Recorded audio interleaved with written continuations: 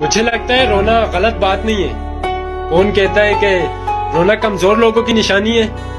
ऐसा बिल्कुल भी नहीं है। रोकर आप अपने दिल का गम हल्का कर सकते हो। लेकिन रोना वही अच्छा है, जहाँ सामने वाला आपके आंसुओं की कदर करे। वो तो खुश हो रहे, आपको परेशान देखकर।